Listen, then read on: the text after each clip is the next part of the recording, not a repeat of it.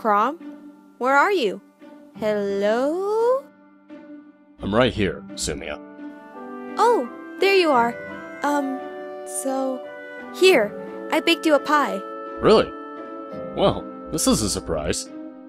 Mmm, smells amazing. You've been working so hard recently. I thought you must be tired. My mother used to bake me a rhubarb and fiddlehead pie, and it always perked me up. Rhubarb and fiddle heads?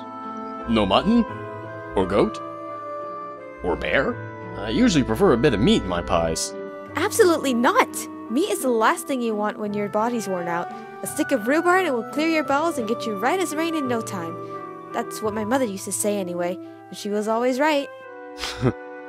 Old Nurse Nan used to say the same thing when I was young. See? They can't both be wrong. Now eat your pie while I go clean your small clothes. I see quite a pile forming on the far side of your cot there. Well, go on. Don't mind me now. Just eat your pie. Uh, well, if you insist. Gods, I hate rhubarb. But if Sumia thinks this will make me feel better, I suppose I should force it down. Hmm? Hey, this isn't bad. In fact, it's delicious! Whoa, that was about the best pie I ever had.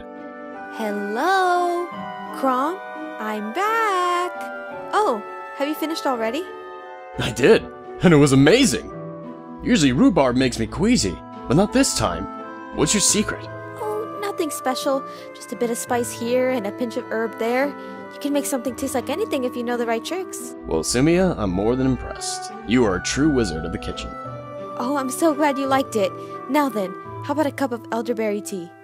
Hold on, you made me pie, so I should be making you tea. Just let me boil some water here. Oh, Chrom, this is too much, really. I knew he loved the pie, especially since it took me 15 tries to get it right.